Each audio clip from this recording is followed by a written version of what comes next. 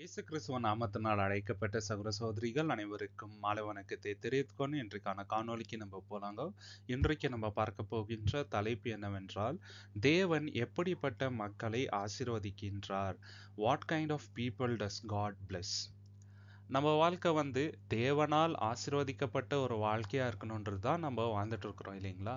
ஆனால் அதற்கு நம்ம என்ன செய்யணும் எப்படிப்பட்ட ஒரு மனிதனாக இருக்கணும் அப்படின்றது தான் இந்த ஒரு காணொலியில் நம்ம வந்து பார்க்குறோம் ஏன்னா தேவன்கிட்டேருந்து வர ஆசீர்வாதம் தான் ரொம்ப முக்கியம்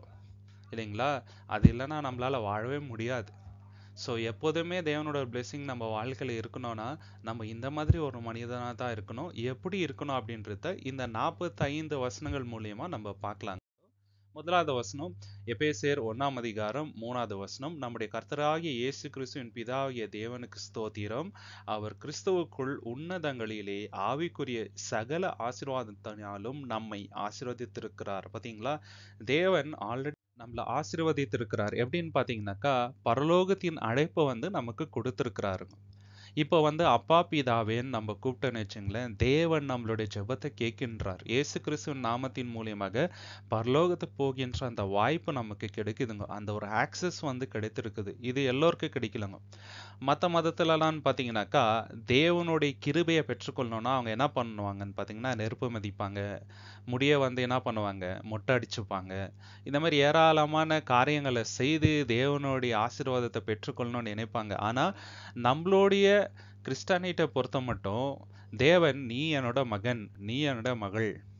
உன்னை நான் என்னோட பிள்ளையா தேர்ந்தெடுத்திருக்கிறேன் நீ இனிமேட்டு நீ வந்து என்னோட பிள்ளையா வாடணும்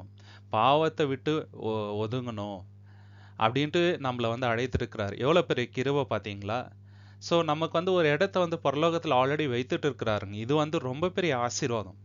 ஆனால் அதை நம்ம பெற்றுக்கொள்ளணும்னா என்ன பண்ணோம் சில விதிமுறைகள் இருக்குதுங்க நீ இப்படி தான் இருக்கணும்ன்ட்டு தேவன் நமக்கு ஒரு வழிமுறையை காமிச்சிட்டாருங்க ஒரு பிரின்சிபல் வந்து கொடுத்துருக்கிறார் அதை மீறிட்டோம்னு வச்சுங்களேன் நம்மளால பரலோகத்துக்கு போக முடியாது அந்த ஆசீர்வாதத்தை பெற்றுக்கொள்ள முடியாதுங்க சரிங்களா சில் நினச்சிடக்கூடாது பேப்டிசம் எடுத்துட்டோம் தேவனோட அழைப்பு என்னோட வாழ்க்கையில் இருக்குது எப்படி இருந்தாலும் நான் அங்கே போயிடுவேன் அப்படி கிடையாதுங்க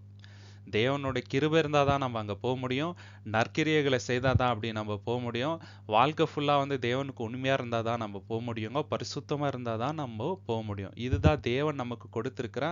அந்த ஒரு கட்டளை இதாக வந்து நம்ம ஃபாலோ பண்ணும் சரிங்களா ஸோ இப்போது எப்படிப்பட்ட ஜனங்களை தேவன் ஆசிர்வதிப்பார் நம்ம எப்படி இருக்கணுன்றத ஒவ்வொரு வசனம் மூலியமா நம்ம பார்க்கலாம் மத்திய ஐந்தாம் அதிகாரம் ரொம்ப முக்கியமானதுங்க அங்கே மலைப்பிரசங்கத்தில் இயேசு கிறிஸ்து சில விஷயங்களை சொல்கிறார் எப்படி இருந்தால் நம்மளுடைய வாழ்க்கை ஆசிர்வதிக்கப்பட்ட வாழ்க்கையாக இருக்கும் ஆவியில் எளிமை உள்ளவர்கள் பாக்கியவான்கள் பார்த்தீங்களா ஆவியில் வந்து எளிமை இருக்கணும் சரிங்களா மனமேட்டிமை இருக்கக்கூடாது உலகத்தில் இருக்கிறவங்களுக்கு இருக்குது ஆனால் நமக்கு இருக்கக்கூடாது ஏன்னா பரலோக ராஜம் எப்படிப்பட்டவங்களுக்கு ஆவியில் எளிமை உள்ளவங்களுக்கு துயரப்படவர்கள் பாக்கியவான்கள் அவர்கள் ஆறுதல் அடையவார்கள் இன்னைக்கு நம்ம லைஃப்பில் கண்டினியூஸாக ஹாப்பினஸ்ஸே கிடையாது சில சமயத்தை வந்து நமக்கு துயரம் வரும் ஆனால் என்ன சொல்கிறாருனாக்கா இப்படிப்பட்டவங்க பாக்கியவான்கள் முக்கியமாக தேவனுடைய ராஜ்யத்துக்காக துயரப்படுறவங்க பாக்கியவான்கள் அவங்களுக்கு வந்து தேவன் என்ன பண்ணுவார் ஆறுதல் தருவார் சாந்த குணம் உள்ளவர்கள் பாக்கியவான்கள் உலகத்துல சாந்த குணம் இருந்தாக்கா ரொம்ப அட்வான்டேஜ் எடுப்பாங்க இல்லைங்களா ஆனா தேவன் என்ன சொல்றாரு அப்படிப்பட்டவங்க தான் சா பாக்கியவான்கள் அவர்கள் பூமியை வந்து சுதந்திரித்துக் கொள்வார்கள் அப்படின்ட்டு சொல்றாருங்க நீதியின் மேல் பசிதாகம் உள்ளவர்கள் பாக்கியவான்கள் அவர்கள் திருப்தி அடையவர்கள் யாருக்கு வந்து நீதியின் மேல் பசிதாகம் இருக்குதோ அவங்க தான் பாக்கியவான்கள் உள்ளவர்கள் பாக்கியவான்கள் சரிங்களா யாருக்கு இறக்கு இருக்குதோ அவங்க வந்து பாக்கியவான்கள் ஏன்னா அவங்களுக்கு வந்து இறக்க கிடைக்கும் தேவன் கிட்ட இருந்துன்னு சொல்றாரு இதயத்தில் சுத்தம் உள்ளவர்கள் பாக்கியவான்கள் அவர்கள் தேவனை தரிசிப்பார்கள் எவ்வளோ பெரிய பாக்கியம் பார்த்தீங்களா என்ன பாக்கியம் தேவனை பார்க்கணும் தேவனை பார்க்கணும்னாக்கா நம்மளோட இதயம் ஃபர்ஸ்ட் வந்து பரிசுத்தமாக இருக்கணும் அப்போ தான் தேவனை பார்க்க முடியும் சமாதானம் பண்ணுகிறவர்கள் பாக்கியவான்கள் அவர்கள் தேவனுடைய புத்திரர் என்னப்படுவார்கள் பார்த்தீங்களா சமாதானம் செய்கிறவர்களாக நம்ம இருந்தோம்னு வச்சுங்களேன் நம்மளோட லைஃப் பிளெஸ்ஸடாக இருக்கும் நீதி நிமித்தம் துன்பப்படுவர்கள் பாக்கியவான்கள் பரலோக ராஜ்யம் அவர்களுடையது பார்த்தீங்களா இன்னைக்கு நம்ம தப்பு பண்ணாமல் உண்மையாக இருக்கும் போது நம்ம துன்பப்படுறோன்னா இயேசு கிறிஸ்துவின் நாமத்தின் நிமித்தம் நம்ம தான் பாக்கியவான்கள் இதை வந்து நம்ம அனுபவிக்கணும் இதற்காக நம்ம சந்தோஷப்படணும் ஏன்னா நம்ம பாக்கியவான்கள் பாக்கியவான்கள்ன்றாருங்க பரலோக ராஜ்யமே உமக்கு தான் சொந்தம் அப்படின்றாரு சரிங்களா இதற்காக நாம் வந்து கவலைப்படக்கூடாது உலகத்தில் யார் யாரோ சந்தோஷமாக இருக்கிறாங்க தேவனோட நாமம் தெரியாதவங்களே சந்தோஷமாக செல்வாக்க இருக்கிறாங்க எனக்கு ஏன் துன்பம் வருது இல்லைங்க இந்த மாதிரி துன்பப்பட்டால் தான் ஏசு கிறிஸ்துவின் நாமத்தி நிமித்தம் பரலோக ராஜ்யம் நம்ம வந்து பெற்றுக்கொள்ள முடியும் முடியுங்க என் நிமித்தம் உங்களை நிந்தித்து துன்பப்படுத்தி பலவித தீமையான மொழிகளையும் உங்கள் பேரில் பொய்யாய் சொல்வார்கள் ஆனால் பாக்கியவான்களால் இருப்பீர்கள் பார்த்தீங்களா உங்களை வந்து தப்பாக பேசுவாங்க உங்களை நிந்திப்பாங்க துன்பப்படுத்துவாங்க அப்படி இருந்து நீங்கள் பாக்கியவான்கள் பார்த்தீங்களா ஒரு லிஸ்ட்டே கொடுத்துட்டார் இப்படி இருந்தால் நம்ம வந்து பாக்கியவான்கள் அப்படின்ட்டு சொல்கிறாருங்க நிறைய பேருக்கு இந்த மலை பிரசங்கத்தில் அவர் சொன்ன இந்த பிஆர்டிடியூஸ் தான் தெரியும் இதை தவிர இன்னும் நிறைய இடத்துல எப்படி இருந்தால் நம்ம வாழ்க்கை வந்து பிளெஸ்ஸடாக இருக்கும் பாக்கியவானாக இருப்போம்ன்ட்டு நிறைய இடத்துல டெஸ்டமெண்ட்ல டெஸ்டமெண்ட்லேருந்து சொல்லியிருக்கிறாருங்க அதை ஒன்று ஒன்றா நம்ம பார்க்கலாங்க இந்த ஒரு காணொலியில் சங்கீதம் முப்பத்தி மூணு பன்னெண்டு கர்த்தரை தங்களுக்கு தெய்வம் எண்ணு கொண்ட ஜாதியும்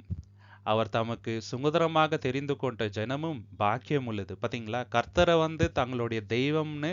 எண்ணிக்கொண்டு இருக்கிற ஜனங்கள் பாக்கியம் சொல்றாருங்க கிறிஸ்தவ தேசங்கள் அப்படின்னு சொல்லிட்டு ஏராளமான தேசங்கள் இந்த உலகத்தில் இருக்குது ஃபார் எக்ஸாம்பிள் வந்து யூரோப்பியன் கண்ட்ரிஸ் எடுத்துக்கலாம் முக்கியமாக அமெரிக்காவை எடுத்துக்கலாங்க சரிங்களா அமெரிக்கா வந்து கிறிஸ்தவ தேசம் அப்படின்ட்டு சொல்கிறாங்க ஆனால் ஒரு கிறிஸ்தவர்களாக வாழ்கிறாங்களா பைபிளுக்கு ஏற்ற விதமாக அவங்களோட வாழ்க்கை இருக்குதான்னு பார்த்தீங்கன்னாக்கா நிச்சயமாக இல்லை ஆனால் எந்த ஒரு தேசம் வேத வசனத்துக்கு அடிப்படையாக வாழ்கிறாங்களோ எங்களுடைய தேவன் வந்து பரலோகத்தில் இருக்கின்றார் அவர் ஒருத்தர் தான் தேவன் இயேசு கிறிஸ்து தான் ரட்சகர் அப்படின்னு சொல்லிட்டு வாழ்கிறாங்களோ அந்த தேசம் வந்து பாக்கியம் உள்ள தேசமாக இருக்கும் அப்படின்ட்டு சொல்கிறாங்க பழைய ஏற்பாடில் நம்ம பார்க்கும்போது இஸ்ரேவேல தேவன் அந்த அளவுக்கு வந்து ஆசீர்வதித்தார் ஏன்னா அவங்களுக்கு பாவம் பண்ணுறாருங்க ஆனாலும் எங்கள் தேவன் எகவா தேவன் அப்படின்ற அந்த ஒரு எண்ணம் அவங்கக்கிட்ட இருந்துச்சுங்க இனி கூட நீங்கள் பார்த்தீங்கன்னாக்கா உலகமே இஸ்ரேலை பார்த்து பயப்படுது காரணம் அவங்க பின்னாடி இருக்கின்ற தேவன் மிகப்பெரியவருங்க அவர் தான் மெய்யான தேவன் அந்த தெய்வத்தை தான் நம்ம வணங்குறோம் சரிங்களா இது ரொம்ப பெரிய பாக்கியங்க ஒரு நாடு ஃபுல்லாகவே ஒரே தேவனை வணங்குதுனாக்கா எவ்வளோ பெரிய ஆசீர்வாதமாக இருக்கும் இல்லைங்களா சங்கீதம் நூற்றி பன்னெண்டு ரெண்டு அவன் சந்ததி பூமியில் பலத்திருக்கும் செம்மையானவர்களின் வம்சம் ஆசீர்வதிக்கப்படும் பார்த்தீங்களா யார் வந்து நீதிமானாக இருக்கிறாங்களோ செம்மையான வழியில் நடக்கிறாங்களோ அவங்க மட்டும் இல்லைங்க அவங்க வம்சமே ஆசீர்வதிக்கப்படும் உதாரணத்துக்கு ஆபரகாம் ஆபரகாம் வந்து செம்மையான மனிதன்கோ நீதிமானாக இருந்தார் அதனால் என்னாச்சுங்க அவங்க வம்சத்தையே வந்து தேவன் ஆசீர்வதிச்சார் உன்னோட சந்ததி மூலயமா இந்த உலகத்தையே நான் ஆசீர்வதிப்பேன்னு சொன்னாருங்க அந்த ஆசீர்வாதத்துக்குள்ளே தான் இன்னைக்கு நம்ம வந்திருக்கோம் பார்த்தீங்களா ஆபராமுக்கு எப்போயோ தேவன் கொடுத்த ஆசீர்வாதத்துக்குள்ள இன்னைக்கு நம்ம ஆபராமின் சந்ததியாக இருக்கிறோம்னாக்கா எவ்வளோ பெரிய ஆசீர்வாதம் பார்த்தீங்களா காரணம் அவருக்கு இருந்த அந்த விசுவாசம் ரொம்ப முக்கியமான காரணம் தேவன் மேலே இருந்த அந்த விசுவாசத்தினால தான் அவர் ஆசீர்வதிக்கப்பட்டார் அது மட்டும் இல்லாமல் அவர் நீதிமானுங்க இறைமையா பதினேழு ஏழு கர்த்தர் மேல் நம்பிக்கை வைத்து கர்த்தரே தன் நம்பிக்கையாக கொண்டிருக்கின்ற மனுஷன் பாக்கியவான் பார்த்தீங்களா நமக்கு யார் நம்பிக்கைங்க நம்மளோட ஃப்ரெண்டா அப்பாவா அம்மாவா மனைவியா பிள்ளைகளா கிடையாதுங்க நம்மளுடைய நம்பிக்கை தேவன் ஒருவரே வேற எதுவுமே கிடையாதுங்க யார் வந்து கர்த்தரையா அவரோட நம்பிக்கையாக வைத்திருக்கிறாங்களோ அவங்க தான் பாக்கியவான்கள் இன்னைக்கு யோசிச்சு பார்க்கணுங்க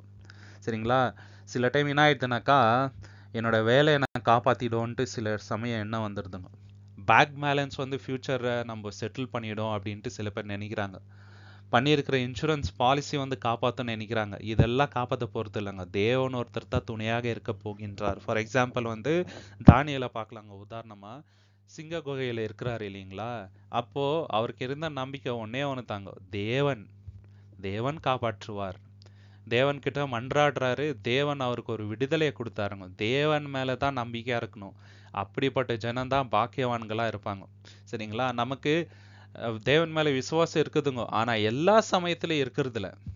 எல்லா சமயத்துலையும் அந்த நம்பிக்கை ஹண்ட்ரட் பர்சன்ட் இருக்கணுங்க அப்படி நம்ம இருந்தோம்னு வச்சுங்களேன் நம்ம லைஃப் எப்போது எப்போதுமே பிளஸடாக இருக்குங்க ஒன்று பேதரு மூணாம் அதிகாரம் பதினான்காவது வசனம் நீதி நிமித்தமாக நீங்கள் பாடுபட்டால் பாக்கியவான்களாக இருப்பீர்கள் பார்த்தீங்களா நீதி நிமித்தம் நம்ம பாடுபட்டால் நம்ம பாக்கியவான்கள் அவர்களுடைய பயமுறுத்தலுக்கு நீங்கள் பயப்படாமலும் கலங்காமலும் இருந்து பார்த்தீங்களா நிறைய பேர் நம்மளை பயப்படுத்தலாம் படிக்க படிக்கக்கூடாது யார்கிட்டயோ வந்து சத்தியத்தை எடுத்து சொல்லக்கூடாது சுவிசேஷத்தை பிரசங்கிக்க கூடாது அப்படின்னு சொல்லிட்டு நம்மளை பயம் காட்டலாங்க இந்தியன் சிட்டிசன்ஷிப்பே வந்து எடுத்துருவோன்னு சொல்லிட்டு கூட பயம் காட்டலாம் உங்களுக்கு கவர்மெண்ட்லேருந்து வர எந்த சலுகையும் வராது கிறிஸ்டினாக இருந்தான்னு சொல்லிட்டு கூட பயம் காட்டலாம் உங்கள் பசங்களோட ஃப்யூச்சர் வந்து செட்டில் ஆகாது அப்படின்னு சொல்லிட்டு பயம் காட்டலாம் இந்தமாரி ஏராளமான அச்சுறுத்தல் நமக்கு வரலாங்க ஆனால் நம்ம பயப்படக்கூடாதுங்க நீதி நிமித்தம் இந்த எல்லா பாடுகளையும் நம்ம வந்து சகித்தோமானால் நம்ம வந்து பாக்கியவான் நிச்சயமாக இருப்பவங்க லூக்கா பதினோராம் அதிகாரம் இருபத்தி எட்டாவது வசனம் அதற்கு அவர் அப்படியானாலும் தேவனுடைய வார்த்தையை கேட்டு அதை காத்து கொள்கிறவர்களே அதிக பாக்கியவான்களாய் இருப்பார்கள் என்றார் பார்த்தீங்களா ஏ கிறிஸ்துவ பார்த்து ஒருத்தவங்க சொல்றாங்க உன்னை கர்ப்பம் தரித்த அந்த கர்ப்பம் வந்து ஆசீர்வதிக்கப்பட்டதா இருக்கட்டும் அப்படின்ட்டு சொல்றாங்க அதுக்கு ஏசு சொல்றாரு தேவனுடைய வார்த்தையை கேட்டு அதன் பிரகாரம் நடக்கிறாங்க பாருங்க அவங்க தான் வந்து ஆசீர்வதிக்கப்பட்டவர்கள் அப்படின்ட்டு சொல்றாங்க அப்படின்னா அர்த்தங்க நம்ம தேவனுடைய வசனத்தை கேட்டு அதன் பிரகாரம் வாழ்ந்தோன்னு வச்சுங்களேன் நம்மளோட வாழ்க்கை எப்போதுமே ஆசீர்வதிக்கப்பட்டதா இருக்குங்க இதுக்கு எத்தனையோ வசனங்கள் இதே பிரகாரம் இருக்குது பழைய ஏற்பாடுலேருந்து கூட நம்ம பார்க்கலாம் உபாகமம் பதினொன்று இருபத்தி ஏழில் நியாயப்பிரமாணத்தை தேவன் கொடுக்குறாரு இல்லைங்களா அப்போது இந்த வார்த்தையை சொல்கிறாரு இன்று நான் உங்களுக்கு கற்பிக்கின்ற உங்கள் தேவனாகிய கர்த்தரின் கற்பனைகளுக்கு கீழ்ப்படுவீர்கள் ஆனால் ஆசீர்வாதமும் பார்த்தீங்களா நீங்கள் வந்து இந்த கட்டளையை கீழ்ப்பட்டா ஆசீர்வாதம் உங்களுக்கு வரும் அப்படின்றார் ஷாத்ராக் மேஷாக் ஆபேத்னகோ தானியலை நம்ம பார்க்குறோம் பாபிலோனில் இருக்கும்போது அவங்க வந்து அசுத்தமான எந்த உணவையும் சாப்பிடல காரணம் தேவனுடைய கட்டளைகளை வந்து அவங்க கீழ்ப்படிந்தாங்க அதனால தான் அவங்க வந்து ஆசிர்வதிக்கப்பட்டவர்களாக இருந்தாங்க இன்னைக்கு வரைக்கும் நம்ம அவங்கள பற்றி பேசுகிறோம் காரணம் அவங்க வந்து தேவனுடைய கட்டளையை வந்து எங்கேயுமே வந்து மீறலைங்க நம்ம தேவனுடைய கட்டளைகளை மீறோமா தேவனுடைய வார்த்தையின்படி நம்மளுடைய வாழ்க்கை இருக்குதா அப்படி இருந்தால் நம்மளுடைய வாழ்க்கை ஆசிர்வதிக்கப்பட்டதாக இருக்குங்க நம்ம யோசிச்சு பார்க்கணும் ஒருவேளை தேவனோட கட்டளைக்கு மாறாக நம்ம நடந்துட்டோம் இருந்தா ஆசீர்வாதத்துக்கு பதிலாக எது வராங்க கேர்ஸ் தான் நம்மளுக்கு வரும் சாபம் வராங்க சபிக்கப்பட்டவர்களாக நம்ம இருக்கக்கூடாது தேவன் நமக்கு ஆப்பர்ச்சுனிட்டி கொடுத்துட்டே இருப்பார் அதை வந்து நம்ம அட்வான்டேஜாக எடுத்துக்கக்கூடாதுங்க தேவனுடைய கட்டளையின் பிரகாரம் நம்ம வாழணும் நீதிமொழிகள் இருபத்தி ரெண்டு ஒம்பது கருணை கண்ணன் ஆசிர்வதிக்கப்படுவான் அவன் தன் ஆகாரத்தில் தரித்திரனுக்கு கொடுக்கின்றான் பார்த்தீங்களா யாருக்கு கருணை கருணை உள்ளம் இருக்குதோ அவங்க வந்து ஆசீர்வதிக்கப்படுவாங்க நமக்கு அந்த கருணை இருக்கணும் யாராவது கஷ்டப்படும் போது நம்ம இமீடியட்டாக போய் உதவி செய்யணும் நம்மளால முடிந்ததை செய்யணுங்க ஏன்னா ஒருத்தருக்கு நம்ம உதவி செய்யும் போது அவங்க கண்களுக்கு நம்ம வந்து தேவன் மாதிரி தான் தெரியும் சரிங்களா நம்ம வந்து பாவிதாங்க ஆனால் அவங்க கண்களுக்கு அந்த ஒரு சமயத்தில் அந்த மாதிரி அவங்களுக்கு நினைவு வரும் ஆனால் நம்ம தேவன் நமக்கு கொடுத்த அந்த கிஃப்டை வந்து மற்றவங்கிட்ட ஷேர் பண்ணிக்கணும் சரிங்களா நம்ம வந்து செல்ஃபிஷாக இருக்க வெளிப்படுத்தல் ஒன்னாம் அதிகாரம் மூன்றாவது வசனம் இந்த தீர்க்கதர்சன வசனங்களை வாசிக்கிறவனும் கேட்கிறவர்களும் இதில் எழுதியிருக்கிறவர்களை கொள்கிறவர்களும் பாக்கியவான்கள் காலம் சபீமமாக இருக்கின்றது பார்த்தீங்களா இங்க சில விஷயங்களை சொல்றாருங்க யார் வந்து பாக்கியவான்கள் அப்படின்ட்டு இந்த வசனங்களை வாசிக்கிறவரும் இந்த வசனங்களை யாரெல்லாம் வாசிக்கிறாங்களோ அவங்க வந்து பாக்கியவான் அப்படின்றாருங்க நம்ம எவ்வளோ நேரம் வாசிக்கிறோம் தினந்தோறும் பத்து நிமிஷம் கூட நம்மக்கிட்ட இல்லைங்களா யோசிச்சு பார்க்கணுங்க சத்தியத்துக்கு வந்த புதுசில் ஒன் ஹவர் டூ ஹவர் நம்ம வந்து வாசிச்சிருக்கலாம் ஆனால் இன்னைக்கு அதே பக்தி வைராக்கியம் நம்மக்கிட்ட இருக்கிறதா அஞ்சு நிமிஷம் கூட டைம் இல்லைன்ட்டு நம்ம சொல்கிறோமா இல்லை எல்லாம் ஆல்ரெடி தெரிஞ்ச விஷயம் தானே திருப்பி புதுசாக என்ன இருக்குதுன்ட்டு யோசிக்கிறோமா அப்படி நம்ம யோசிக்கிற மாதிரி இல்லைங்க தினந்தோறும் வாஞ்சியாக ஆராய்ச்சி செய்து ஒவ்வொரு வசனத்தையும் வந்து நம்ம படிக்கணும் அது மட்டும் இல்லாமல் கேட்கணுங்க வசனத்தை எடுத்து சொல்கிறதுக்கு எத்தனையோ பேர் இருக்கிறாங்க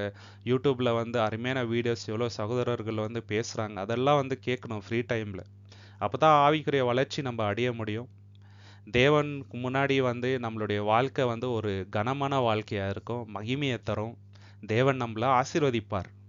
அது மட்டும் இல்லாமல் எழுதியிருக்கிறவர்களை கை கொள்ளணும் இந்த சத்திய வசனத்தில் என்னன்னா தேவன் நம்மளுக்கு கொடுத்துருக்க அதை வந்து நம்ம அப்ளை பண்ணோங்க லைஃப்பில் அப்போது நம்மளுடைய வாழ்க்கை ஆசீர்வதிக்கப்பட்ட வாழ்க்கையாக இருக்கிறவங்க நம்ம யோசிச்சு பார்க்கணும் எவ்வளோ வசனம் நம்ம வந்து படிச்சிருப்போம் இல்லைங்களா அதன் பிரகாரம் என்னோட வாழ்க்கை இருக்குதா இல்லை எந்தெந்த விஷயத்தில் குறை இருக்குது அதை வந்து நோட் பண்ணணும் இதெல்லாம் வந்து குறை இருக்குது நான் வந்து அதிகமாக பேசுகிறேன் தேவையில்லாத காசிப் பேசுகிறேன் எனக்கு தவறான எண்ணங்கள் வருது ஒரு சகோதரன் மேலே வந்து நெகட்டிவான ஃபீலிங் வருது மன மேட்டிமை எனக்குள்ளே இருக்குது கெட்ட வார்த்தை பேசுகிற பழக்கம் இருக்குது இன்னும் ட்ரிங்கிங் ஹேபிட் என்கிட்ட இருக்குது ஸ்மோக்கிங் ஹேபிட் இருக்குது சில விஷயங்களை என்னால் விட முடியல அப்படின்ற அதெல்லாம் வந்து நோட் பண்ணுங்க இதெல்லாம் வசனத்துக்கு எதிராக இருக்குதே தேவனை நீங்கள் தான் எனக்கு வந்து ஹெல்ப் பண்ணணும் அப்படின்ட்டு நம்ம கெஞ்சி இடத்துல மன்றாடி கேட்டோம்னு வச்சு நிச்சயமாக வந்து தேவன் அதுலேருந்து நமக்கு ஒரு விடுதலை தருவாருங்க சங்கீதம் முப்பத்தி நாலாம் அதிகாரம் எட்டாவது வசனம் கர்த்தர் நல்லவர் என்பதை ருசித்து பாருங்கள் அவர் மேல் நம்பிக்கையாக இருக்கின்ற மனுஷன் பாக்கியவான் யார் பாக்கியவான்னாக்கா தேவன் மேலே நம்பிக்கையாக இருக்கிறவங்க பாக்கியவான் ஷாத்ராக் மேஷா காபத் நேகவா நம்ம எக்ஸாம்பிளாக பார்க்கலாம் அவங்க என்ன சொல்கிறாங்கனாக்கா எங்கள் தேவன் வந்து எங்களை காப்பாற்ற வல்லவராக இருக்கிறாரு அவர் எங்களை காப்பாற்றாமல் போனால் கூட வேறு எந்த தேவனோ வழங்க மாட்டோம் அப்படின்ட்டு சொல்கிறாங்க எந்த அளவுக்கு தேவன் மேலே நம்பிக்கை இருக்குது பார்த்தீங்களா அதனால தான் அவங்க வந்து நெருப்பில் இருந்தால் கூட அவங்களுக்கு எந்த ஒரு பாதிப்பும் ஏற்படலைங்க ட்ரெஸ் அப்படியே ஃப்ரெஷ்ஷாக வராங்க வெளியில் இல்லைங்களா ரூமில் தங்கிட்டு வர மாதிரி அவ்வளோ ஃப்ரெஷ்ஷாக வராங்க ஏன்னா தேவன் மேலே வைத்திருந்த நம்பிக்கைக்கு தேவன் கொடுத்த ஆசீர்வாதம் அது லுக்கா ஒன்றாம் அதிகாரம் நாற்பத்தி ஐந்தாவது வசனம் விசுவாசித்தவளே பாக்கியவதி கர்த்தராலே அவருக்கு சொல்லப்பட்டவைகள் நிறைவேறும் என்றால் பார்த்தீங்களா இங்கே எலிசபெத்து மரியாதை பார்த்து நீ வந்து பாக்கியவதி ஏன்னா தேவன் சொன்ன வார்த்தை வந்து நிறைவேறும்ன்று நீ நம்புன அப்படின்ட்டு சொல்கிறாருங்க இன்னைக்கு தேவன் நமக்கு எவ்வளோ வாக்குத்தத்தங்கள் கொடுத்துருக்கிறார் ஆயிரக்கணக்கான வாக்குத்தத்தங்கள் இருக்குது அதெல்லாம் நடக்கும்ட்டு நம்ம நம்பினோம்னாக்கா மரியாதை போல நம்மளும் வந்து பாக்கியவதியாக இருப்போங்க பாக்கியவான்களாக நம்ம வந்து இருப்போம் இல்லைங்களா யாக்கவு ஒன்றாம் அதிகாரம் பன்னெண்டாவது வசனம் சோதனையை சகிக்கின்ற மனுஷன் பாக்கியவான் பார்த்தீங்களா சோதனை யார் சகிக்கிறாங்களோ அவங்க தான் வந்து பாக்கியவான்கள் சோதனையே வேணான்ட்டு நம்ம நினைக்கிற மாதிரி இல்லைங்க சோதனை நிச்சயமாக வரும் ஆனால் அதை வந்து நம்ம சகிக்கணுங்க என்டியர் பண்ணும் அப்போ தான் வந்து நம்ம பாக்கியவானாக இருப்போம் இல்லைங்களா சோதனை இல்லாமல் நம்மளுடைய விசுவாசம் வந்து டெஸ்ட் பண்ண முடியாதுங்க நம்ம கரெக்டான விசுவாசத்தில் இருக்கிறோமா இல்லையான்றத இந்த சோதனையை வந்து நம்ம சகிச்சா மட்டும்தான் அது ப்ரூவ் ஆகும் அதற்காக தான் தேவன் இதை வந்து கொடுக்குறாரு ஸோ இதை வந்து நம்ம மறந்துடக்கூடாதுங்க சோதனையை சகிக்கின்ற மனுஷன் பாக்கியவான் எக்ஸாம்பிள் யோசிப்பை நம்ம பார்க்குறோம் அவருக்கு சோதனை வந்துச்சு அதை வந்து அவர் என்டியோர் பண்ணார் பாக்கியவானாக இருந்தார் தேவன் அவரை வந்து ஆசிர்வதித்தார் சங்கீதம் எண்பத்தி நாலாம் அதிகாரம் ஐந்தாவது வசனம் உண்மையிலே பெலன் கொள்கின்ற மனுஷன் தங்கள் இதயங்களில் செவ்வையான வழிகளை கொண்டிருக்கிறவர்களும் பாக்கியவான்கள் யாரெல்லாம் கர்த்தரோட பலத்தில் நம்பிக்கை வைத்து வாழ்கிறாங்களோ அவரோட வழிகளில் நடக்கிறாங்க வந்து பாக்கியவான்கள் இப்போ கிடியோன் வார்க்கு போகிறாரு இல்லைங்களா யார் மேலே நம்பிக்கை வச்சு வார்க்கு போனாருங்க சுயபலத்தில் சார்ந்தா போனாங்க இல்லை தேவன் ஒரு ரட்சிப்பை கொடுப்பாரு ஏன்னா எதற்கு இருந்த அந்த ஆர்மி நீங்கள் பார்த்தீங்கன்னாக்கா ரொம்ப பெரிய ஆர்மிங்க மீடியன் ஆயிடுச்சு இல்லையா இவங்க ரொம்ப சிறிய ஜனங்களாக இருக்கிறாங்க இவங்கள வச்சு தேவன் அவ்வளோ பெரிய வெற்றியை கொடுக்குறாரு காரணம் தேவன் மேலே அவங்களுக்கு இருந்த நம்பிக்கை தான் காரணங்க வேற ஒன்றுமே இல்லை ஸோ தேவனோட பலத்தில் நம்ம சார்ந்து வாழ்ந்தோம்னு வச்சுங்களேன் நம்மளுடைய வாழ்க்கை எப்போதுமே ஆசீர்வாதத்தான் இருக்குங்க அவரோட வழியில் வந்து நம்ம அதுவும் ரொம்ப இம்பார்ட்டண்ட் சங்கீதம் நூற்றி பத்தொம்போது ஒன்று கர்த்தருடைய வேதத்தின்படி நடக்கின்ற உத்தம மார்க்கத்தார் பாக்கியவான்கள் நம்ம உத்தம மார்க்கத்தாரா இன்னைக்கு யோசிச்சு பார்க்கணும் அவரோட வேதத்தின்படி நம்ம நடக்கிறோமா இல்லை நம்ம மனசில் எது சரின்னு படுதோ அதன் பிரகாரம் நம்ம நடக்கிறோமா அப்படின்ட்டு யோசிச்சு பார்க்கணுங்க யோவான் ஸ்தானகரோட எக்ஸாம்பிளை நம்ம பார்க்கலாங்க பொருந்ததுலேருந்தே அவர் வந்து உலகத்துக்கு வேர்பிழித்து செப்பரேட்டாகவே வாழ்கிறார் தேவனுடைய கட்டளைகளை வந்து கீழ்ப்படுகிறாருங்க அவ்வளோ உத்தமமான ஒரு வழியில் நடக்கிறாரு அதனால்தான் ஸ்திரீயில் பிறந்தவங்கள இவருக்குனா பெரியவங்க யாருமே இல்லைன்ட்டு வசனம் இருக்குது அந்த அளவுக்கு ஒரு உத்தமமான அவர் வந்து வாழ்கிறாருங்க இப்படிப்பட்ட ஒரு வாழ்க்கை வாழணும் இல்லைங்களா அப்படி இருந்தோமானால் தேவன் நம்மளை ஆசிர்வதிக்குவாருங்க சங்கீதம் நூற்றி பதினெட்டு இருபத்தி ஆறு கர்த்தருடைய நாமத்தினாலே வருகிறவர் ஸ்தோத்திரிக்கப்பட்டவர் கர்த்தருடைய ஆலயத்திலிருந்து உங்களை ஆசிர்வதிக்கின்றோம் பார்த்தீங்களா கர்த்தருடைய நாமத்தினால வருகின்ற ஸ்தோத்திரிக்கப்பட்டவர் அப்படின்ட்டு இருக்குதுங்க இது வந்து இயேசு கிறிஸ்துவை பற்றின ஒரு தீர்க்க தரிசன வசனம் இப்போ இயேசு கிறிஸ்து தேவனுடைய நாமத்தினால வந்தார் உலகத்துக்கு இது எல்லோருக்கும் நல்லா தெரியும் இன்னைக்கு நம்ம இயேசு கிறிஸ்துவின் நாமத்தினால உலகத்துக்கு போகிறோம் இல்லைங்களா இயேசு கிறிஸ்து போல நம்ம வாழணும் இயேசு கிறிஸ்து போல பேசணும் இயேசு கிறிஸ்து போல எல்லாரையும் மன்னிக்கணும் அப்படி இருந்தோமானால் நம்மளுடைய வாழ்க்கையும் இயேசு கிறிஸ்து வாழ்க்கை மாதிரி ஆசிர்வதிக்கப்பட்ட வாழ்க்கையாக இருக்கணுங்க இது சாதாரண விஷயம் இல்லைங்க சரிங்களா இது ஒரு தவம் இல்லைங்களா சாதாரணமாக இயேசு மாதிரி யாராலையும் வாழ முடியாதுங்க இந்த உலகத்தில் எத்தனையோ யோகிகள் இருந்தாங்க சித்தர்கள் இருக்கிறாங்க ஆனால் இயேசு கிறிஸ்துக்கு கிட்ட கூட போக முடியாதுங்க அவ்வளோ பர்ஃபெக்டாக வாழ்ந்தவர் இயேசு ஒருவர் இருந்து எந்த ஒரு பாவமும் அவர் பண்ணலைங்க சரிங்களா ஒரு சிந்தனையில் கூட அவர் தவறு பண்ணல அதுதான் ஸ்பெஷாலிட்டி இல்லைங்களா மீதி சித்தர்கள்லாம் நீங்கள் பார்த்தீங்கன்னாக்கா ஏதாவது ஒரு இடத்துல அவங்க வந்து தவறு பண்ணியிருப்பாங்க அப்புறம் தேர்ந்திருப்பாங்க ஆனால் ஏசு கிறிஸ்து அப்படி இல்லைங்க நம்மளும் அதே மாதிரி இருக்கணும் இல்லைங்களா நீதிமொழிகள் இருபத்தி எட்டாம் அதிகாரம் இருபதாவது வசனம் உண்மையுள்ள மனுஷன் பரிபூர்ண ஆசீர்வாதங்களை பெறுவான் தேவனிடத்துலேருந்து நமக்கு பரிபூர்ண ஆசீர்வாதம் வரணும்னாக்கா நம்ம உண்மையாக இருக்கணும் தேவன்கிட்ட உண்மையாக இருக்கணும் நம்மளுடைய சகோதர சகோதரிகள்கிட்ட உண்மையாக இருக்கணும் நம்மளுடைய பேச்சில் உண்மை இருக்கணும் நம்மளுடைய நடத்திலே உண்மை இருக்கணும் யாராவது ஒருத்தருக்கு ஏதாவது வார்த்தை கொடுத்தா அதன் பிரகாரம் நம்ம நடந்துக்கணுங்க பொய் பேசக்கூடாது மாய்மாலை இருக்கக்கூடாது அப்படி இருந்தோமானால் உண்மையாக இருக்கிறவங்களுக்கு மட்டும்தான் வந்து தேவன் ஆசீர்வாதம் தருவாருங்க எந்த மாரி விஷயங்களில் உண்மையாக இருக்கணும்னு பார்த்தீங்கன்னாக்கா சின்ன விஷயங்களில் கூட நம்ம உண்மையாக இருக்கணும் சரிங்களா இதில் தான் வந்து தேவன் ரொம்ப ரொம்ப பிரியப்படுவார் நம்ம மேலே நம்மளுடைய வாழ்க்கை வந்து தேவனுக்கு வந்து மகிமையை தருவோங்க எப்போ எல்லா விஷயத்திலையும் நம்ம வந்து உண்மையாக இருக்கும்போது மலாக்கியா மூணாம் அதிகாரம் பத்தாவது வசனம் என் ஆலயத்தில் ஆகாரம் இருக்கும்படி தசம பாகங்களை எல்லாம் பண்ட சாயலிலே கொண்டு வாருங்கள் அப்பொழுது நான் வானத்தின் பல கனிகளை திறந்து இடம் கொள்ளும் பேரு மட்டும் உங்கள் மேல் ஆசிர்வாதத்தை வருஷிக்க பண்ண மாட்டேன் என்று அதனால் என்ன சோதித்து பாருங்கள் என்று சேனைகளின் கர்த்தர் சொல்கிறார் பார்த்தீங்களா தேவன் சொல்றார் என்ன சோதித்து பாருங்க எப்படி தசமாகத்தை வந்து எனக்கு தாங்க அப்போ வானத்திலேருந்து ஆசீர்வாதங்களை உங்க மேல நான் வர்ஷிக்க பண்ணுவேன் அப்படின்றாருங்க பார்த்தீங்களா நம்ம வந்து தேவனுடைய ஊழியத்தை வந்து தாங்கணும் அப்போ தேவன் நிச்சயமா நம்மளை வந்து ஆசீர்வதிப்பாருங்க தேவன் வந்து நம்மளுடைய செலவுகளுக்கு மீறி நம்மளுக்கு வந்து மணி கொடுத்தாருனா காரணம் என்னன்னாக்கா நம்ம மற்றவங்களுக்கு உதவி செய்யணும் என்ற ஒரே காரணம் தாங்க இதுக்கெல்லாம் தேவன் நிச்சயமாக கணக்கு கேட்பார் முக்கியமாக ஊழியத்தை வந்து நம்ம தாங்கணும் அப்போ தேவன் நம்மளை ஆசீர்வதிப்பார் யாக்கோபு ஒன்னாம் அதிகாரம் இருபத்தி ஐந்தாவது வசனம் சுயாதீன பிரமாணமாகிய பூர்ண பிரமாணத்தை உற்று பார்த்து அதிலே நிலைத்திருக்கிறவனை கேட்கிறதை மறக்கிறவனாயிராமல் அதற்கேற்ற கிரியை செய்கிறனாயிருக்கிறதுனாலே தன்னின் செய்கையில் பாக்கியவானாயிருப்பான் பார்த்தீங்களா சத்தியத்தை நம்ம எல்லோரும் கேட்குறோம் ஆனால் கேட்குறது மாத்திரம் நம்மளுடைய வேலை இல்லைங்க அதற்கேற்ற கிரியைகளை செய்யணும் அப்போ தான் நம்மளுடைய வாழ்க்கை ஒரு பாக்கியமுள்ள வாழ்க்கையாக இருக்கும் தேவன் யார் ஆசீர்வதிப்பாருன்னு பார்த்தீங்கன்னாக்கா சத்தியத்தை கேட்குறவங்கள இல்லைங்க சத்தியத்தை கேட்டு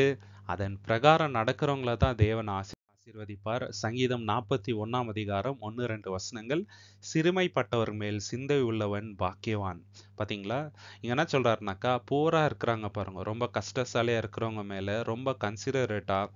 அவங்களுக்கு ஹெல்ப் பண்ணுறவங்க தான் பாக்கியவான்கள் அப்படின்ட்டு சொல்கிறாருங்க நம்ம அப்படி ஹெல்ப் பண்ணும்போது தேவன் நம்மளை எப்படி ஆசீர்வதிப்பார் அப்படின்றத அடுத்த சென்டென்ஸில் சொல்கிறாரு தீங்கு நாளிலே கர்த்தர் அவனை விடுவிப்பார் நமக்கு தீங்கு வரும்போது தேவன் என்ன பண்ணுவார் விடுவிப்பார் ஆனால் நம்ம என்ன செய்யணும் கஷ்டப்படுறவங்களுக்கு நம்ம உதவி செய்யணுங்க அப்போ நமக்கு கஷ்டம் வரும்போது தேவன் நம்மளுக்கு விடுதலை தருவார் கர்த்தர் அவனை பாதுகாத்து அவனை உயிரோடு வைப்பார் பூமியில் அவன் பாக்கியவானாயிருப்பான் அவன் சத்துருக்களின் இஷ்டத்திற்கு நீர் அவனை ஒப்புக்கொடீர் பார்த்தீங்களா சத்துருக்கள் ஒன்றும் பண்ண முடியாது பூமியிலே அந்த மனுஷன் என்னவா இருப்பாருங்க பாக்கியவானா இருப்பார் நம்ம என்ன பண்ணணும் ஏழைங்களுக்கு ஹெல்ப் பண்ணுங்க சரிங்களா இது முக்கியமான ஒரு விஷயம் தேவன் நம்மளுக்கு கொடுக்குற அந்த பிளெஸ்ஸிங்கை மற்றவங்ககிட்ட ஷேர் பண்ணுங்க அதுக்கு தான் வந்து தேவன் நம்மளுக்கு வெசின் காரணமே அது தாங்க லூக்கா ஏழாம் அதிகாரம் இருபத்தி மூணாவது வசனம் என்னிடத்தில் இடரல் அடையாதிருக்கின்றவன் எவனோ அவன் பாக்கியவான் என்றார் பார்த்தீங்களா இயேசுக்கு சொல்றாரு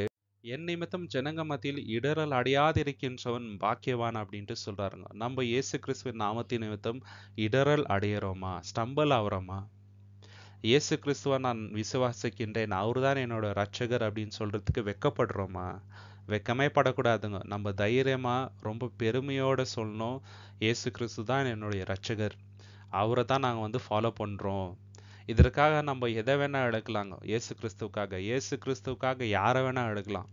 இல்லைங்களா சில பேர் வந்து சர்டிஃபிகேட்ஸில் கிறிஸ்டியன் மென்ஷன் பண்ணுறதுக்கே யோசிக்கிறாங்க ஏன்னா சலுகைகள் எல்லாம் போயிடும்ன்ட்டு நம்ம அந்த மாதிரி யோசிக்கிற மாதிரி இல்லைங்க ஏசு கிறிஸ்துவின் நிமித்தம் நம்ம இடரல் அடையவே கூடாது அப்படி இருந்தா நம்ம பாக்கியவான்கள் சங்கீதம் முப்பத்தி இரண்டு ஒன்று எவனுடைய மீறுதல் மன்னிக்கப்பட்டதோ எவனுடைய பாவம் மூடப்பட்டதோ அவன் பாக்கியவான் அதில் ஸோ இந்த வசனம் வந்து நமக்கு முக்கியமாக அப்ளை ஆகுதுங்க நம்ம பாவி நம்மளோட பாவத்தை வந்து தேவன் என்ன பண்ணியிருக்கிறாருங்க மன்னித்து இருக்கிறார் நம்மளுடைய மீறுதல்களை மூடி இருக்கிறாருங்க இயேசு கிறிஸ்துவின் நாமத்தின் நிமித்தம் அவருடைய ரத்தத்தினால நம்மளை வந்து நீதிமான் ஆக்கிட்டாருங்க தேவன் நிச்சயமா நம்ம வந்து இந்த விஷயத்துல பாக்கியவான் ஆல்ரெடி சங்கீதம் முப்பத்தி ஏழாம் அதிகாரம் இருபத்தி ஆறாவது வசனம் அவன் நித்தம் இறங்கி கடன் கொடுக்கின்றான் அவன் சந்ததி ஆசீர்வதிக்கப்படும் யார் வந்து மற்றவங்களுக்கு இறங்கி இறங்கி மற்றவங்களுக்கு உதவி செய்கின்றாங்களோ இறக்கம் காட்டுறாங்களோ அவங்க வந்து பாக்கியவான் அப்படின்ட்டு சொல்கிறாருங்க நிறைய இடத்துல இந்த வசனம் ரிப்பீட் ஆகிறத நம்ம பார்க்குறோம் ஆனால் இந்த விஷயத்தில் நம்ம எந்த அளவுக்கு உண்மையாக இருக்கிறோன்ட்டு யோசிச்சு பார்க்கணுங்க தேவன் கொடுக்கின்ற ஆசீர்வாதங்களை நம்மக்கிட்டேயே நம்ம வச்சுட்டு இருக்கிறோம்னாக்கா நம்ம வந்து சுயநலவாதி ஆயிரும் நம்ம வந்து செல்ஃபிஷாக இருக்கக்கூடாதுங்க செல்ஃபிஷாக இருக்கிறது ரொம்ப பெரிய பொல்லாப்பான விஷயம் நம்ம வந்து தேவன் போல உதாரத்துவமாக இருக்கணும் ஜெனரஸாக இருக்கணுங்க அப்போ தான் தேவனுடைய பிள்ளைகளாக நம்ம இருக்க முடியும் சங்கீதம் நூற்றி எட்டு நாலு இதோ கர்த்தருக்கு பயப்படுகின்ற மனுஷன் இவ்விதமாய் ஆசீர்வதிக்கப்படுவான் பார்த்தீங்களா கர்த்தருக்கு நம்ம பயப்படணுங்க குரநிலேஸ் ஒரு எக்ஸாம்பிள் பார்க்கலாங்க தேவனுக்கு பயந்தாரு அவர் மாத்திரம் இல்லாமல் அவங்க குடும்பமே என்ன ஆச்சுங்க ஆசீர்வதிக்கப்பட்டுச்சு பார்த்தீங்களா கர்த்தருக்கு பயந்தா இதுதான் நம்ம வாழ்க்கையில் வருத்துங்க கர்த்தருக்கு பயலனா தான் அந்த பாவம் செய்கின்ற எண்ணம் வருது கர்த்தருக்கு பயலனா தான் பொய் சொல்கிறதுங்க கர்த்தருக்கு பயம் இல்லாதது தான் மற்றவங்களை ஏமாத்துறது ஆனால் கர்த்தருக்கு பயம் இருந்தால் நம்ம ஒரு பர்ஃபெக்ட் மேனாக இருக்கலாங்க சரிங்களா கர்த்தருக்கு பயம் இருந்தால் நமக்கு ஞானம் வருது எல்லாமே அங்கத்துலேருந்து தான் ஸ்டார்ட் ஆகுதுங்க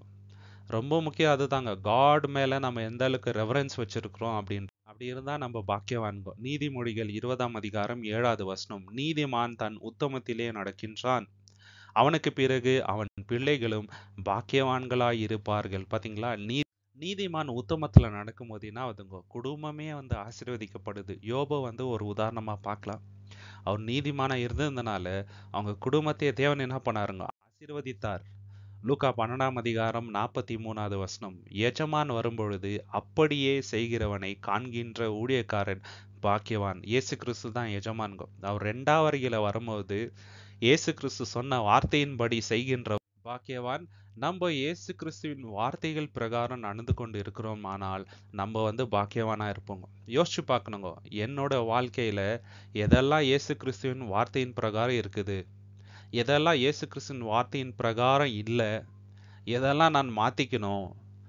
மாற்றிக்க வேண்டியது தான் அதிகமாக இருக்கும் ஆக்சுவலாக அப்போ நம்ம என்ன பண்ணோம் தேவன்கிட்ட போய் ஜெபம் பண்ணோம் தேவனே இயேசு கிறிஸ்துவ போல் நான் இருக்கணும்ப்பா நீங்கள் தான் எனக்கு துணை நிற்கணும் தேவனே எனக்கு ஒரு எழு எழுப்புதலை தாங்கப்பா எனக்கு பர்சுத்தாவின் பலன் வேணும்ப்பா நான் வந்து ஆகாதவனாக போகக்கூடாதுப்பா பவுல் சொல்கிறாரு இல்லைங்களா மற்றவங்களுக்கு பிரசங்கிக்கிற நான் தானே ஆகாதவனா போகாதபடிக்கு என்ன பண்றாருங்க அவரோட உணவை தினந்தோறும் வந்து கண்ட்ரோல் பண்றாரு அந்த மாதிரி நம்ம இருக்கணுங்க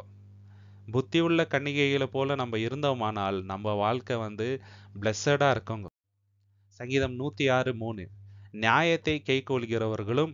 எக்காலத்திலும் நீதியை செய்கிறவர்களும் பாக்கியவான்கள் பார்த்தீங்களா நியாயத்தை பண்றவங்க தான் பாக்கியவான்கோ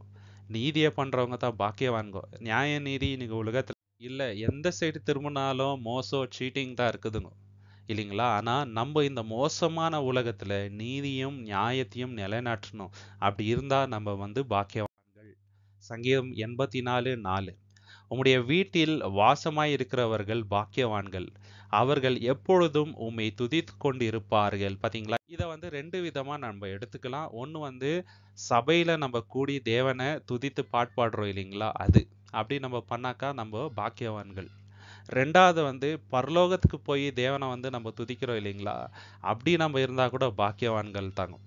இதை நம்ம கரெக்டாக பண்ணால் தான் பரலோகத்துக்கு போய் தேவனை துதிக்க முடியும் அதையும் நம்ம வந்து மறந்துடும் மறந்துடக்கூடாதுங்க சங்கீதம் நூற்றி பத்தொம்போது ரெண்டு அவருடைய சாட்சிகளை கை கொண்டு அவரை முழு இதயத்தோடும் தேடுகிறவர்கள் பாக்கியவான்கள் பார்த்தீங்களா அவருடைய சாட்சியை கை கொண்டு தேவனை எப்படி தேடினாங்க முழு இதயத்தோட தேடினாக்கா நம்மளோட வாழ்க்கை ஆசீர்வதிக்கப்பட்ட வாழ்க்கையாக இருக்கணும் இன்னைக்கு முழு இதயத்தோட எதை நம்ம தேடுறோம் நம்மளுடைய ஃப்யூச்சரை தேடுறோமா இல்லை ஒரு சைட்டை தேடுறோமா இல்லை நம்ம வேற வேற விஷயங்களை தேடுறோமா நம்ம தேட வேண்டியது தேவனுங்க சரிங்களா தேவனுடைய வழிகளை இதுதான் ரொம்ப முக்கியங்க இந்த உலகத்தில் இருக்கின்ற இவங்க எல்லாமே அநித்தியமானவர்கள் நித்தியமான விஷயங்களை தான் நம்ம தேடணும் அதுதான் ரொம்ப ரொம்ப முக்கியம் முழு இதயத்தோட தேவனை நம்ம வந்து தே சங்கீதம் தொண்ணூற்றி நாலு பன்னெண்டு தேவன் சிச்சிக்கின்ற மனுஷன் பாக்கியவான் அப்படின்ட்டு சொல்றாருங்க நம்மளை இன்னைக்கு தேவன் சிச்சிக்கிறாருங்க நம்மளுடைய உபத்திரத்தினால சிச்சிக்கின்றார் நம்ம அதை வந்து என்டியூர் பண்ணணும் சகிச்சுக்கணும் அப்போ தான் வந்து நம்மளுக்கு பிளெஸ்ஸிங் வரங்க வெளிப்படுத்தல் இருபத்தி ரெண்டு ஏழு இதோ சீக்கிரமாய் வருகிறேன் இந்த புஸ்தகத்தில் உள்ள தீர்க்கதர்சன வசனங்களை கைக்கொள்கிறவன் பாக்கியவான் என்றார் இயேசு கிறிஸ்து சொல்றார் நான் சீக்கிரம் வரேன் இந்த புஸ்தகத்தில் இருக்கின்ற வசனங்கள் படி வாழ்கிறவங்க பாக்கியவான்கள் அப்படின்ட்டு சொல்கிறாருங்க சரிங்களா நம்ம இந்த வசனத்தின் படி வாழ்கிறோமா யோசிச்சு பார்க்கணுங்க எத்தனையோ வசனம் பார்த்தோம் இல்லைங்களா இந்த வசனத்தை கை கொள்கிறவங்க பாக்கியவான்கள்ட்டு ரிப்பீட்டடாக சொல்கிறாருங்க வசனத்தை கை கொள்கிறது ரொம்ப ரொம்ப இம்பார்ட்டண்ட் வசனத்தை கேட்குறது முக்கியம் அதை விட பல மடங்கு முக்கியம் என்ன அதன் பிரகாரம் வந்து வாழ் சங்கீதம் நூற்றி பன்னெண்டு ஒன்று அல்லேலுயா கர்த்தருக்கு பயந்து அவருடைய கட்டளைகளில் மிகவும் பிரியப்படுகின்ற மனுஷன் பாக்கியவான் ரெண்டு பாயிண்ட் சொல்கிறாருங்க ஒன்று வந்து கர்த்தருக்கு பயப்பட்டுருதுங்க கர்த்தருக்கு நம்ம பயந்து வாழ்ந்தோம்னு வச்சுங்களேன் நம்ம பாக்கியவான் ரெண்டாவது என்ன சொல்கிறாரு கட்டளையில் ரொம்ப ரொம்ப பிரிய பண்ணுங்க அதாவது தேவனோட வசனத்தை வந்து நம்ம லவ் பண்ணுங்க அப்படி நம்ம லவ் பண்ணால் நம்ம வந்து பாக்கியவான்கள் ஏதோ ஜஸ்ட் லைக் தட் ஒரு நாவல் படிக்கிற மாதிரியோ சரிங்களா ஒரு ஸ்டோரி புக் படிக்கிற மாதிரியோ நம்ம படிச்சோன்னு வச்சுங்களேன் அதில் எந்த அர்த்தமும் இல்லை தேவனோட வார்த்தை தேவன் என்கிட்ட பேசுகிறாரு ஒரு ஃப்ரெண்டு நம்ம ரொம்ப ரொம்ப நேசிக்கின்ற ஒரு ஃப்ரெண்டுக்கிட்ட பேசணும்னா நம்ம எவ்வளோ ஆசைப்படுவோம் அந்த மாதிரி பைபிள் எடுத்து படிக்கணுங்க தேவன் என் கூட வந்து என்ன பண்ணுறாரு கம்யூனிகேட் பண்ணுறாரு அப்படின்ற அந்த எண்ணத்தில் நம்ம படிச்சோன்னு வச்சுங்களேன் அதோட எக்ஸ்பீரியன்ஸே வேறு மாதிரி இருக்குங்க லவ் பண்ணி படிக்கணும் அது ரொம்ப இம்பார்ட்டண்ட் அப்படி இருந்தோம்னா நம்ம பாக்கி லூக்கா பதினான்காம் அதிகாரம் பன்னெண்டுலேருந்து பதினாலு வாசிக்கலாம் அன்றியும் அவர் தம்மை விருந்துக்கு அழைத்தவனை நோக்கி நீ பகல் விருந்தாவது ராவிருந்தாவது பண்ணும்போது உன் சிநேகிதராகியிலும் உன் சகோதரனாகியிலும் உன் பந்து ஜனங்களாகிலும் ஐஸ்வரமுள்ள அயலானாகிலும் அழைக்க வேண்டாம் அழைத்தால் அவர்களும் உன்னை அழைப்பார்கள் அப்பொழுது உனக்கு பதிலுக்கு பதில் செய்வார்கள் நீ விருந்து பண்ணும்போது ஏழைகளையும் ஊனரையும் சப்பாடிகளையும் குருடரையும் அழைப்பாயாக அப்பொழுது நீ பாக்கியவானாய் இருப்பாய் பார்த்தீங்களா நீ ஒரு பந்தி வைக்கிற ஒரு ஃபீஸ்ட் வைக்கிறனாக்கா நீ யாரை கூப்பிட்டு சாப்பாடு போடணும் நீ பணக்கார கூப்பிடாத ஏன்னா அவங்க வந்து திருப்பி பண்ணிடுவாங்க உங்கள் சொந்தக்கார கூப்பிடாத அவங்களும் திருப்பி பண்ணிடுவாங்க யாருக்கு உன்னால் திரும்பி செய்ய முடியாதோ அவங்கள கூப்பிட்டு நீ பந்தி வை சப்பானைகளை கூப்பிடு குருடரை கூப்பிடு ஏழைகளை கூப்பிட்டு நீ பந்தி வை ஏன்னா அவங்களால திருப்பி பண்ண முடியாது யூஸ்வலாக நம்ம என்ன பண்ணுறோம் நமக்கு தெரிஞ்சவங்கள தான் வந்து நம்மளுடைய ஃபங்க்ஷன்ஸ்க்கு கூப்பிடுதுங்க ஆனால் ஏசுனா சொல்கிறாரு நீ பாக்கியவானா இருக்கணும்னாக்கா உன்னோட பந்தியில் ஏழைங்களுக்கு கூப்பிட்டு சாப்பாடு போடு அப்படின்றாருங்க எவ்வளோ அருமையான வார்த்தை பார்த்தீங்களா இதை வந்து நம்ம ஃபாலோ பண்ணோம் ஆக்சுவலி சங்கீதம் நாற்பதாம் அதிகாரம் நாலாவது வசனம் அகங்காரிகளையும் பொய்யை சார்ந்திருக்கிறவர்களையும் நோக்காமல் கர்த்தரையே தன் நம்பிக்கையாக வைத்திருக்கின்ற மனுஷன் பாக்கியவான் பார்த்தீங்களா நம்ம வந்து யாரை சார்ந்து இருக்கக்கூடாது ஆங்காரமாக இருக்கிறாங்க பாருங்கள் இந்த உலகத்தில் பொலிட்டீஷியன்ஸு ரொம்ப இன்ஃப்ளூயன்ஷியல் பீப்புள் இல்லைங்களா அவங்கள சார்ந்து நம்ம இருந்தோம்னு வச்சிங்களேன் நம்மளோட லைஃப் வந்து வேர்ஸ்டாக அமைஞ்சிடும் ஆனால் தேவனை சார்ந்து தேவன் தான் என்னுடைய நம்பிக்கை நீங்கள் தான்ப்பா என்னோட நம்பிக்கை அப்படின்ட்டு வாழ்ந்தோன்னு வச்சிங்களேன் நம்மளோட வாழ்க்கை ஆசிர்வதிக்கப்பட்ட வாழ்க்கையாக இருக்குங்க அப்போஸ்லாகிய பவுல வந்து எக்ஸாம்பிள் எடுத்துக்கலாம் அவருக்கு ரொம்ப இன்ஃப்ளூயன்ஸ் இருந்துச்சு ரோமன்ஸ் கிட்ட இல்லைங்களா ஆனாலும் அவர் அந்த இன்ஃப்ளூயன்ஸை யூஸ் பண்ணி தவறான விஷயம் எதுவுமே பண்ணலைங்க அதை சார்ந்து அவர் வாழலை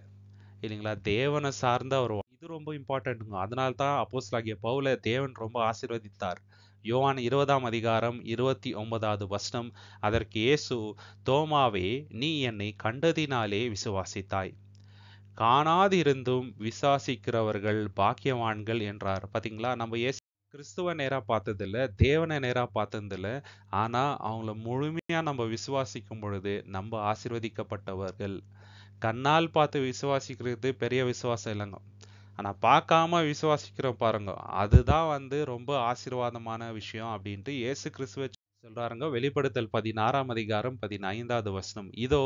திருடனை போல் வருகிறேன் தன் மானம் காணப்படத்தக்கதாக நிர்வாணமாய் நடவாதபடிக்கு விழித்து கொண்டு தன் வஸ்திரங்களை காத்து கொள்கிறவன் பாக்கியவான் பார்த்தீங்களா தேவன் எந்த மாதிரி வஸ்திரம் நமக்கு கொடுத்துருக்குறாருங்க நீதியின் வஸ்திரம் அந்த நீதியின் வஸ்திரத்தை நம்ம கழட்டிட்டோம்னு வச்சுங்களேன் நம்ம வந்து நிர்வாணியாக தான் இருப்போம் அந்த மாதிரி நிர்வாணமாக நடக்காமல் அந்த வஸ்திரத்தை என்ன பண்ணுங்க கடைசி வரைக்கும் நம்ம காத்துக்கொள்ளணும் பாவத்தில் வந்து நம்ம போகக்கூடாதுங்க அந்த வஸ்திரத்தை வந்து கெலிச் பண்ணிக்கக்கூடாது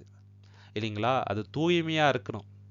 அப்படி நம்ம இருந்தோம்னா நம்ம பாக்கியவான்ட்டு இயேசு இயேசு கிறிஸ்து சொல்கிறாருங்க வெளிப்படுத்தல் இருபத்தி ரெண்டாம் அதிகாரம் பதினான்காவது வசனம் ஜீவ விரட்சத்தின் மேல் அதிகாரம் உள்ளவர்கள் ஆவதற்கும் வாசல்கள் வழியாய் நகரத்திற்குள் பிரவேசிப்பதற்கும் அவருடைய கற்பனையின்படி செய்கிறவர்கள்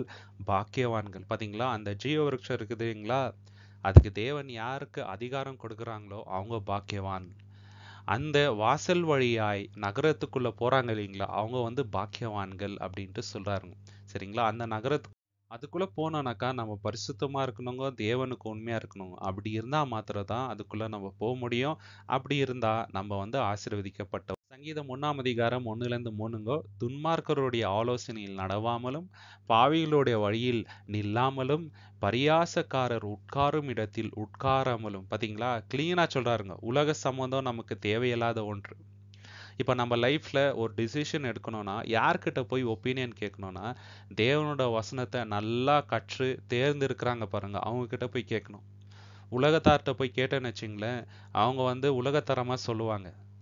அவங்கக்கிட்ட வந்து நம்ம அவங்களோட ஆலோசனைப்படி நடக்கக்கூடாதுங்க பாவிங்க இருக்கிற அந்த வழியில் வந்து நம்ம நிற்கக்கூடாது பரியாசம் பண்ணுறவங்க உட்கார இடத்துல நம்ம உட்காரக்கூடாதுங்க நம்மளுக்கு அவங்களுக்கு எந்த ஒரு வித்தியாசமும் இருக்காது தெளிவாக சொல்கிறாருங்க கர்த்தருடைய வேதத்தில் பிரியமாக இருந்து இரவும் பகலும் அவருடைய வேதத்தில் தியானமாக இருக்கின்ற மனுஷன் பாக்கியவான் பார்த்தீங்களா இரவும் பகலும் ஒன் ஹவர் டூ ஹவர் இல்லை டென் மினிட்ஸ் கிடையாதுங்க இரவும் பகலும் வசனத்தில் தியானமாக இருந்தால் நம்ம பாக்கியவானுன்றாருங்க பார்த்தீங்களா we have to love the word of God just like that படிக்கிறது கிடையாதுங்க we have to love only then will be blessed சரிங்களா மெடிடேட் பண்ணினே இருக்கணும் தேவனோட வசனத்தை ஏதாவது தவறான எண்ணம் வரும்போது வசனம் வந்து இப்படி சொல்லுதேனா அப்படின்னு நினைக்கலாமா ஒருத்தரை தப்பா பேசும்போது வசனம் எப்படி சொல்லுது நான் இப்படி பேசலாமா தவறா பார்க்கும்போது வசனம் எப்படி சொல்லுது நான் இப்படி பார்க்கலாமா அந்த வசனமே இல்லைன்னு வச்சுங்களேன் மெடிடேட் பண்ணலன்னா தவறு வந்து ஈஸியா நம்ம வந்து பண்ணுவோம் சரிங்களா எந்த ஒரு கூச்சமும் இல்லாம எந்த ஒரு குற்ற உணர்ச்சி இல்லாம பாவம் வந்து நம்ம செய்வோம் வசனத்தை அதனால தான் மெடிடேட் பண்ணிகிட்டே இருக்கணுங்க அவன் நீர்க்கால்களில் ஓரமாய் நடப்பட்டு தன் காலத்தில் தன் கனியை தந்து இலை உயிராய் மறைத்தை போல் இருப்பான் அவன் செய்வதெல்லாம் வாய்க்கும் பார்த்தீங்களா செய்வதெல்லாம் வாய்க்கும் இதுதான் தேவன் நமக்கு கொடுக்கின்ற பிளெஸ்ஸிங்கு ஒரு ட்ரீ மாரி நம்மளோட லைஃப் இருக்கும் எப்போ தேவனுக்கு நம்ம உண்மையாக இருந்து உலகத்து கூட ஃப்ரெண்ட்ஷிப் வச்சுக்காம நம்ம மட்டும் பரிசுத்தமாக இருந்தோம்னு வச்சுங்களேன் நம்மளுடைய வாழ்க்கை இந்த மாதிரி ஆசீர்வதி படங்கோ வெளிப்படுத்தல் பத்தொன்பதாம் அதிகாரம் ஒன்பதாவது வசனம் பின்னும் அவன் என்னை நோக்கி ஆட்டுக்குட்டியானவரின் கல்யாண விருந்துக்கு அழைக்கப்பட்டவர்கள் பாக்கியவான்கள் பார்த்தீங்களா இயேசு கிறிஸ்துக்கு பரல இடத்துல ஒரு கல்யாணம் நடக்க போகுது எப்போனாக்கா அவர் இரண்டாம் வருகையில் யாரை கல்யாணம் பண்ணிக்க போகிறார் அப்படின்னாக்கா சபையார நம்மளை தாங்க சரிங்களா அதற்கு நம்ம வந்து பாத்திரவானாக இருந்தோம்னு வச்சுங்களேன் நம்ம வந்து பாக்கியவான்கள் இந்த கல்யாணத்துக்கு யாரெல்லாம் அழைக்கப்பட்டு இருக்கிறாங்களோ அவங்க எல்லோருமே வந்து பாக்கிய பாக்கியவான்கள் சங்கீதம் அறுபத்தி ஐந்தாம் அதிகாரம் நாலாவது வசனம் உம்முடைய பிரகாரங்களில் வாசமாய் இருக்கும்படி நீர் தெரிந்து கொண்டு சேர்த்து கொள்கிறவன் பாக்கியவான் பார்த்தீங்களா தேவனுடைய பிரகாரம் எங்கே இருக்குது பரலோகத்தில் இருக்குது அவர் கூட இருக்கும்படி யாரையெல்லாம் தேவன் வந்து தேர்ந்தெடுக்கிறாங்களோ அவங்க வந்து பாக்கியவான்கள் சாதாரணமாக அந்த ஆப்பர்ச்சுனிட்டி நமக்கு வராது இங்கே வந்து நம்ம எப்படி வாழ்கிறோன்றத பொறுத்து தான் நம்ம இயேசு கிறிஸ்துவ கூட உலகத்தை ஆளுகை செய்கின்றோமா அவர் கூட வந்து இருக்கப்போமா தேவனை வந்து பார்ப்போமான்றது இருக்குதுங்க சரிங்களா இந்த ஒரு வாழ்க்கை வந்து ரொம்ப ரொம்ப இம்பார்ட்டண்ட் தேவனோட வழிகளில் நடக்க தேவனுடைய ராஜ்யத்துக்குள்ளே பிரவேசிக்க அப்போ சிலர் இருபதாம் அதிகாரம் முப்பத்தி ஐந்தாவது வசனம் இப்படி பிரயாசப்பட்டு பலவீனரை தாங்கவும் வாங்குகிறதை பார்க்கிலும் கொடுக்கிறதே பாக்கியம் பார்த்தீங்களா இங்கே என்ன சொல்கிறாருனாக்கா பவுல் வாங்குகிறதை பார்க்கிலும் மற்றவங்களுக்கு கொடுக்கறது தான் பாக்கியன்றாருங்க இந்த மாதிரி நம்ம மற்றவங்களுக்கு கொடுக்கும்போது தேவன் நம்மளை ஆசீர்வதி வெளிப்படுத்தல் பதினான்காம் அதிகாரம் பதிமூன்றாவது வசனம் பின்பு பரலோகத்திலிருந்து ஒரு சத்தம் உண்டாக கேட்டேன் அது கர்த்தருக்குள் மறிக்கிறவர்கள் இது முதல் பாக்கியவான்கள் என்று எழுது பார்த்தீங்களா மரணம் வந்து உலகத்தில் இருக்கிற எல்லா மனிதருக்கும் வரங்கும் ஆனால் நம்ம எப்படி மறிக்கிறோன்றது தான் ரொம்ப இம்பார்ட்டண்ட்டுங்க கர்த்தருக்குள்ள நம்ம மறிக்கணும்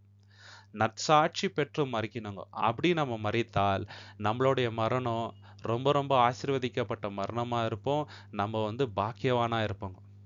நம்ம இன்னைக்கு யோசிக்கணுங்க நான் எனக்கு இன்னைக்கு டெத்து வந்துச்சுனாக்கா என்னோட டெத்து வந்து ஒரு பிளெஸடான டெத்தாக இருக்கம்மா தேவனுக்கு உகந்த காரியங்களை நான் வந்து செய்திருக்கிறேனா கேட்கணுங்க ஒருவேளை தேவனுக்குன்ட்டு நம்ம எதுவுமே செய்யாமல் மறிச்சிட்டோம்னு வச்சுங்களேன் நம்மளோட லைஃப் வந்து ரொம்ப ரொம்ப ஹோப்லெஸ் ஆகிடும் இல்லையா தேவனுக்காக ஏதாவது செய்துட்டு தான் நம்ம மறிக்கணுங்க இந்த ஜீவன் வந்து தேவன் கொடுத்த கிஃப்ட்டு நம்ம என்ன பண்ணோம் அவர் கொடுத்த தாழ்ந்தல் மூலயமா தேவனோட நற்கிரிகளை செய்து அவரோட நாமத்தை வந்து மகிமப்படுத்தணும் வெளிப்படுத்தல் இருபதாம் அதிகாரம் ஆறாவது வசனம் முதலாம் ஒழித்தேதலுக்கு பங்குள்ளவன் பாக்கியவானும் பரிசுத்தவானுமாய் இருக்கின்றான் இவர்கள் மேல் இரண்டாம் மரணத்துக்கு அதிகாரம் இல்லை பார்த்தீங்களா முதலாம் உயிர்த்ததல் இயேசு கிறிஸ்து வராரு இல்லைங்களா அப்போ இந்த உயிர்த்ததல் நடக்கும் யாருக்குன்னு பார்த்தீங்கன்னாக்கா யாரெல்லாம் இயேசு கிறிஸ்துக்காக உண்மையாக வாழ்ந்து மறித்திருக்கிறாங்களோ அவங்களுக்கு ஸோ இதில் யாருக்கெல்லாம் பங்கு இருக்குதோ அவங்க வந்து பாக்கியவான்கள் ஏன்னா அவங்க மேலே இரண்டாம் மரணம் கிடையாதுங்க எவ்வளோ பெரிய ஆசீர்வாதம் பார்த்தீங்க லூக்கா பன்னெண்டாம் அதிகாரம் முப்பத்தி ஏழாவது வசனம் எஜமான் வரும்பொழுது விழித்திருக்கிறவர்களாய் காணப்படுகின்ற ஊழியக்காரரே பாக்கியவான்கள் பார்த்தீங்களா இயேசு கிறிஸ்து வரும்போது யாரெல்லாம் அவருக்காக காத்திருக்கிறாங்களோ விழுத்திருக்கிறாங்களோ அவங்க வந்து பாக்கியவான்கள் ஏன் அவங்க வந்து பாக்கியவான்கள்னு பார்த்தீங்கன்னாக்கா இயேசு கிறிஸ்து ஒரு மகத்தான காரியத்தை அவங்களுக்கு பண்ணுறாருங்க அவர் அறை கட்டிக்கொண்டு அவர்களை பந்தியிருக்க செய்து சமீபமாய் வந்து அவர்களுக்கு ஊழியம் செய்வார் என்று மையாகவே உங்களுக்கு சொல்கின்றேன் பார்த்தீங்களா இயேசு இயேசு கிறிஸ்து என்ன பண்ணுறாருங்க அறை கொண்டு எல்லாருக்கும் சர்வ் பண்ணுறாரு யாரெல்லாம் வந்து அவருக்காக காத்திருந்தாங்களோ உண்மையாக இருந்தாங்களோ விழுத்து இருந்தாங்களோ அவங்களுக்கு வந்து சர்வ் பண்ணுறாருங்க இயேசு கிறிஸ்து நம்மளுடைய எஜமான் நம்ம அவருக்கு உண்மையாக இருந்தால் அவர் வந்து சர்வ் பண்ணுறாருனாக்கா எவ்வளோ பெரிய விஷயங்க அது அதுதான் வந்து ரொம்ப பெரிய பாக் இது ரொம்ப பெரிய ஆசீர்வாதங்க ஏசையா முப்பதாம் அதிகாரம் பதினெட்டாவது வசனம் ஆனாலும் உங்களுக்கு இறங்கும்படி கர்த்தர் காத்திருப்பார் உங்கள் மேல் மனதுருகும்படி எழுந்திருப்பார் கர்த்தர் நீதி செய்கின்ற தேவன் அவருக்கு காத்திருக்கின்ற அனைவரும் பாக்கியவான்கள் நம்ம கர்த்தருக்கே காத்திருக்கணும் எல்லா விஷயத்துக்கும் நம்ம வந்து டென்ஷன் ஆகக்கூடாது